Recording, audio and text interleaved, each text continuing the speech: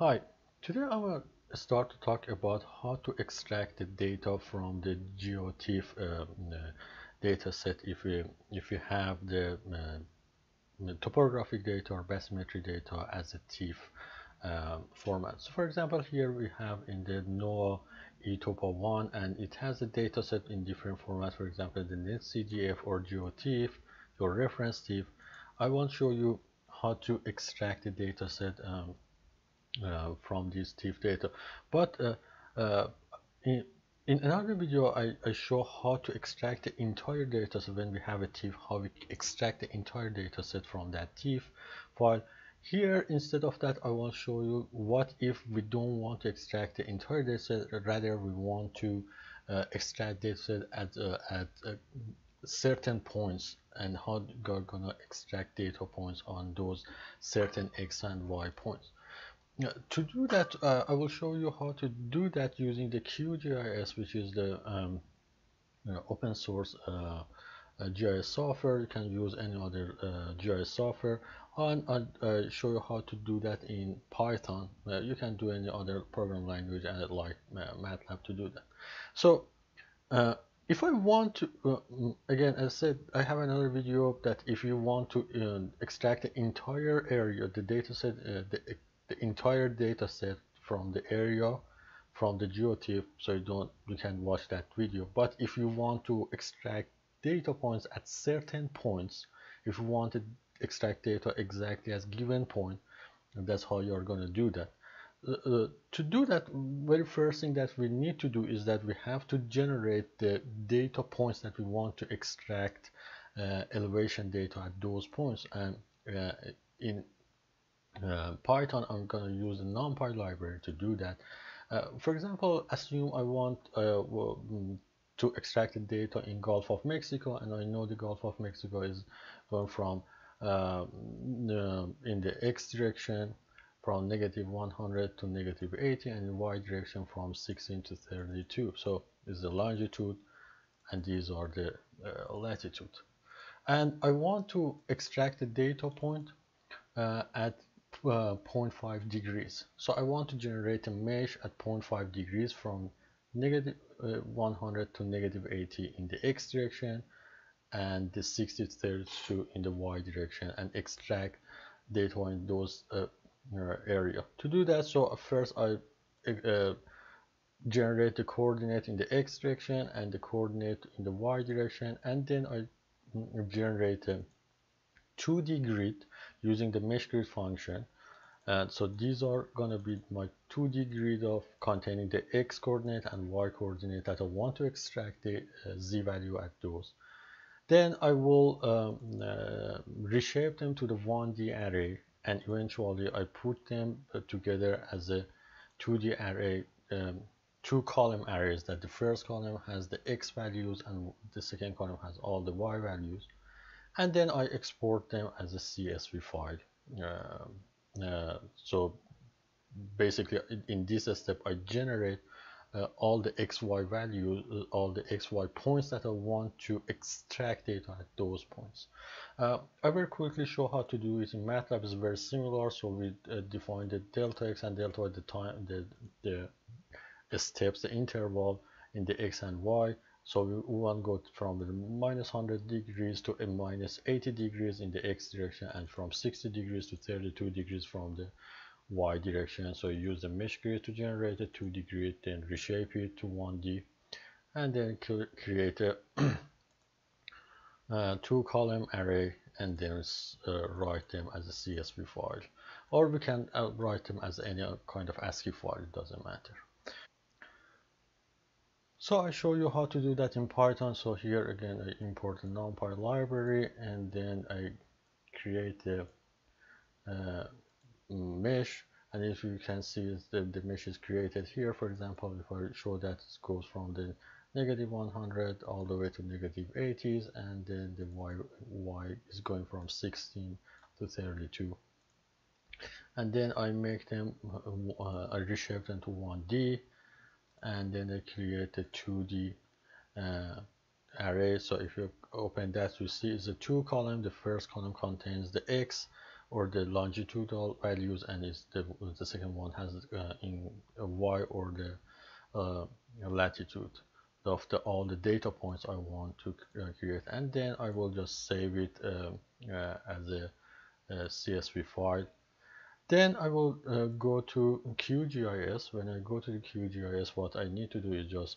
uh, here uh, the very first thing I'll go in, into layer and then add the layer and then add the raster layer um, for the uh, go there and choose the GOT file that we want to work. And for this example I use the eTopo topo for the bedrock uh, grid register GeoTIFF so this is basically the file I'm using it.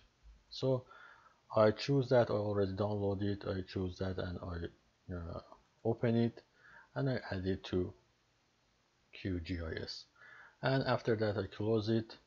Now that I added the next thing is that I have to go and make sure that the, the reference is correct. So click on properties and then go to resources and for it, it says the invalid projection. If I come here and go down in this uh, page it says the horizontal datum is the uh, WGS uh, 84 so I, this is the projection I need to use. So I come here and I, choose the WGS 84 and I apply. It not so mm, my TIFF file is uh, imported correctly then I will import uh, the data points that I just created. I go here and I choose this option here to bring the text layer. So I click on that and then I choose the XY data I just exported in Python. I open the file. So if you go up there it says the CSV file because we have it but if you have other format or for example if you have other um, commas or column or any other type you can come here any other ASCII file you can choose it but because it's a CSV we'll leave it there. Um, here it says the number of uh, headline to uh, disregard. If you have any in, in your file there are any first row second row third row that you don't want to be included you can because sometimes you have some um, uh, header line there you can just ignore that then here it says the first record has the field name. In, in our case it does not. We only we don't have any header or field name. So just unclick on that and look at here. Uh, when it is click it choose the very first row assuming it is going to be the header name. But as soon as I click that so it says that the field 1 and field 2 and then in the next uh, one you have to choose the x. So the x value is the field one and the y value is the field two. And um, it already chose this projection. If it doesn't you have to choose the projection correctly there. And that's it. After that you just click and add the uh, data to uh, map and close it. And you can see this is the area actually we wanted to add it. If I zoom on that so you can see this is around the Gulf of Mexico. So it's the data set that we want to uh, extract. Uh, when uh, we add uh, this data set the next thing that we need is we go and sample or actually find the z value as at those data so to do that we have come here to processing toolbox. If it's not already there um, come to processing tab and click on toolbox and then you have this toolbox here and here search sample and then it comes sample raster values. Click on that on sample raster values and says which data point you want to be sampled. So these are the xy value. We want to sample at those points and we want to sample it on the GeoTIFF file that we have. And uh, mm, then we say oh, mm, open open file. And then you just run it that's it. And it's gonna uh, calculate is in those sample file it's gonna actually calculated the value. So this sample file uh, has x y and also the z value calculated from here. Uh, mm, the next thing is that just open on that on properties and go to the fields. These when when it's gonna export it it's gonna export it with these names. So it, these are the column names. So probably want to change them in something more meaningful. So click on this icon here like a pencil and then click here make it X click on that make it Y click on that make it Z and apply. So now that everything is YZ if you want to see the uh, attribute table you can open the attribute table. So you have X Y and these are the Z value associated with all those X and Y values. So right click on that and then say export and save feature as and here you can choose uh, in what format you want to be saved. I would for example you can if any other format you want you can choose it or you can simply just uh, select the CSV file here and then you choose the uh, the file name you want. For example I want to put the XYZ and save it as a XYZ uh, format. So this is the projection and the rest you can leave it the way it is and add save automap you probably don't want it. Doesn't matter or you can leave it there. And you then click on that and it's gonna uh, it shows you that it saved the uh, xyz values uh, as a csv file for you. So this is how if we how we can sample the geotiff file on the uh, data points that actually we want uh, uh, elevation on elevation at those data points So if I want to, uh, to import the just exported XYZ file into Python, uh, I can use the load text uh, function or gen from text function of the, from the NumPy library. One thing that remember here, I just uh, put the skip row equal to one, and the reason is that the file that we just saved, the very first row in that file has the XYZ uh, header so we don't want the numpy to export that. So if you look at that this is a file we just export so it has the x y and z at the first first row. So we basically tell numpy to skip the first row. We don't want x y z and just import the data. So I uh, run that line.